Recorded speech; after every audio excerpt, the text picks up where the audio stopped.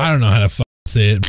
Back at CQB City again, where I was able to take my Article 1 and turn it into a fully custom MTW. Since I haven't been playing too many airsoft tournaments, the only primary I have is the Arc Air Sports rifle. So I figured it might be a good change of pace if I turn the Article 1 into an MTW. What do you got, bro?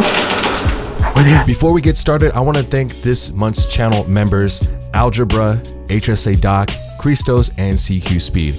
Thank you guys. Without y'all, I wouldn't be able to purchase the Lunchables I can have once a week for dinner. The Article 1 SpeedQB edition retails for around $1,000, largely due to its paintball style grip designed specifically for Speedsoft tournaments. For my custom build, I kept the body but swapped out the airline and the grip, added a new handguard, followed by an upgraded outer and inner barrel, and to finish it off, I attached a foldable stock. This build is tailored specifically to my playstyle. Lightweight and versatile, enough for both tight indoor skirmishes and outdoor engagements where reach is key. I just opened my mouth at you. My approach to gameplay can be aggressive or conservative depending on the format. And for those of you that are curious, here's a breakdown of the parts that I used. For the handguard, I got a Daniel Defense 9-inch rail from Evike for about $110. A 7-inch outer and inner barrel from Wolverine Airsoft, close to $50. At the front, we have the Feyachi M-Lock Tactical Light. Normally retailing for close to $35 on Amazon, this light was sent out to me to test out so there was no charge. Then we have the T238 Storm Tracer, which was also sent to me to test out, but typically retails for about $40. At the back of the rail, keeping everything organized, is the TAM FAM Money Band. That's about $9. Checking out the foregrip, we have the TAM FAM Chop Stop, retailing for about $45, with one of its unique signature features, the geological map texture. The pistol grip is from Magpul, which retail for about $25. I got the red dot sight at the top that I got from eBay for about $20. The back Picatinny mount was $15 from my friend Damien, who also got it from our friend Nick. So it seems to be passed around quite a bit. And last but not least, the 5KU foldable stock from Evike that I got for about $65. In total, this build runs close to $1,350 or $1,425 if you include the T238 Tracer and Feyachi Tactical Light, not counting the magazines of course. You're probably curious about the gear that I'm using to support my HPA setup. I'm running the SpeedQB chest rig paired with the Atom Pack to run smoothly on the field. And for those tight situations, I've got my Tectonic Quake grenade at the ready. With all that, I'm hoping to get some good games in. I've been noticing the decrease in the player base over the last few times I've been going to CQB City, and it's got me wondering, are any of you guys noticing this in your community? And if so, why do you think that is? Alright boys, it's been a minute, let's go ahead and run it back. The most liked comment will be featured in next week's video.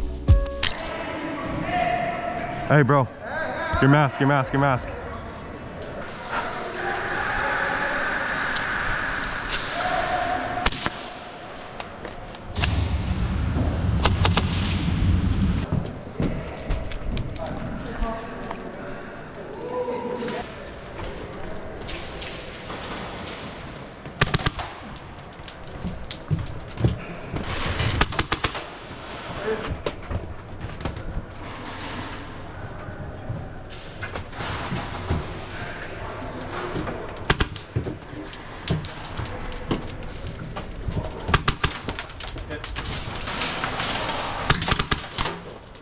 você. Ei.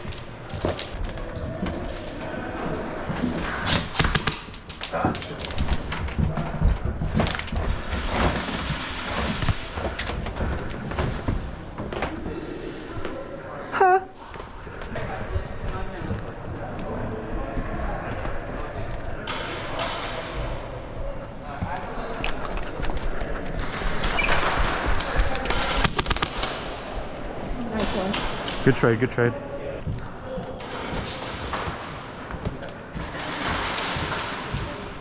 Oh, sorry, sorry, sorry. You're good, you're good. You're going. I'm already dead anyways. You're good, go, go.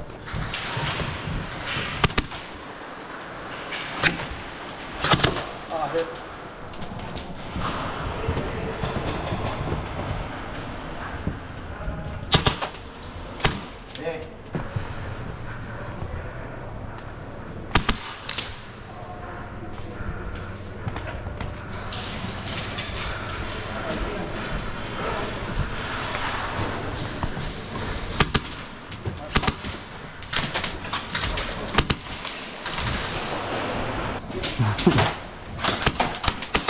Oh, sorry, sorry, sorry. Love you, bro. Say it back.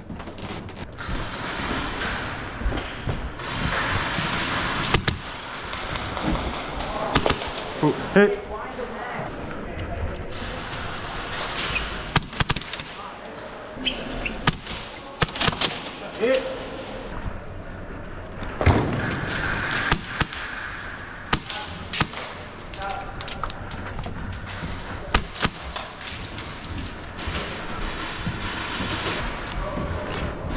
Grenade!